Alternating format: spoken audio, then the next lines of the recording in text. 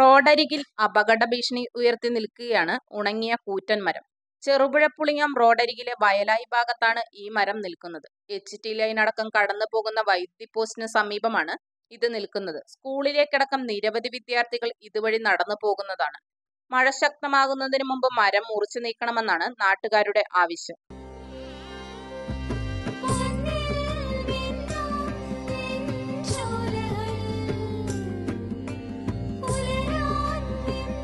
തരുവോ?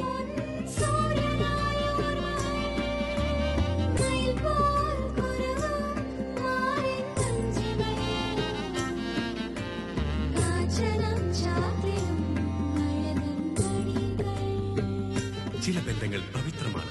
കണ്ണും നിറയും മനസ്സും നിറയും. സ്വന്തം ജോസ്കോ ജ്വല്ലേഴ്സ്. ഇനി സംശുദ്ധമായ സ്വർണം ചെറുപുഴയിൽ.